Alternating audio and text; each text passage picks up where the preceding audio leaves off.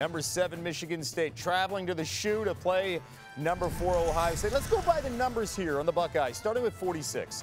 Ohio State has averaged an FBS best 46.3 points per game this season, put up at least 50 points in five games this season, also leading the FBS. Ohio State 7 0 in Big Ten play this season, extending their win streak against conference opponents to 28 games, the longest active streak in the FBS. The Buckeyes have won five straight against the Spartans. Buckeyes have a 54% chance to make the playoff, according to the Allstate Playoff Predictor, which is third best behind only Georgia and Alabama. A win this weekend against the Spartans moves that up to 59%.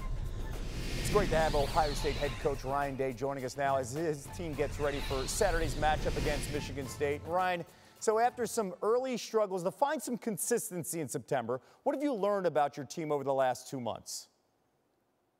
Well, it's it's been a, a build up to this. We were a very very young team early in the season, and um, I, I, think over the last couple months we've grown a lot and, and, learned a lot about our team. We've gained a lot of experience, and this is quite a run that we, we've been on. You know, we had the bye week, and we knew that it was six games here we had to finish with with conference opponents that are, are very very good. And the Big Ten has been very strong this year, and we have a really good team coming in this week. Uh, you know, Michigan State has, has really had a great season. They have a really strong team, and so it's all about preparation and being consistent. You know, especially this time of year. You know, in the Big Ten, you, you got to bring it every week, and that's a big part of uh, maturity. And so I think we've gained some of that maturity from the beginning of the season. You mentioned Michigan State. When you watch this team on film, what do you uh, what do you notice? What stands out, uh, especially the explosive plays from the Spartans? Yeah, I think they play complementary football. I think on offense, uh, certainly Walker is one of the better running backs in the country. Plays really well. Thorne's played well. I think they have really good wideouts. I mean, they, are very, very good offense. One of the top, you know, 25 offense in the country.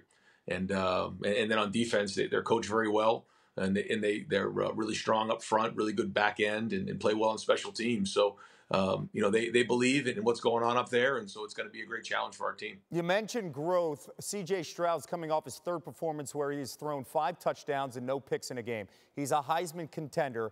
What has impressed you the most about his comfort and that growth in your offense? I mean, he came into the, the first game of the season at Minnesota without throwing a college football pass, you know, a pass in college football. And so, uh, you know, short period of time, he's gained a lot of experience playing the game. And, uh, you know, I think for him, it's been a couple things. I think first off, his preparation has been uh, really, really good for, for a young player. Um, just showing up every day, uh, taking the meeting to the field and taking the practice field to the game. I also think he, he sees the field really well. I think he's got a really good feel. Um, you know, understands the game, manages the game well, and he's very talented throwing the football. You boast the most talented wide receiver room in the nation, and it seems like everyone eats each and every week. How would you describe the relationship here with Chris Olave, Garrett Wilson, and Jaxon Smith-Njigba?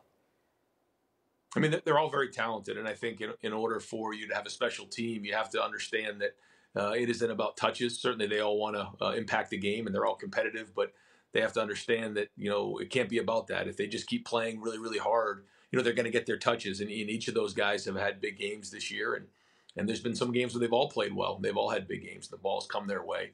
And so uh, you know, this is a team game, and I think they understand that. I think their unselfishness, uh, you know, going in game in and game out has been off the charts, and and I think that's a big part of our success, and it's going to have to be here in November. Uh, you missed this game last year dealing with COVID. Looking back to that experience here, uh, what will Saturday mean to you in this environment at the shoe?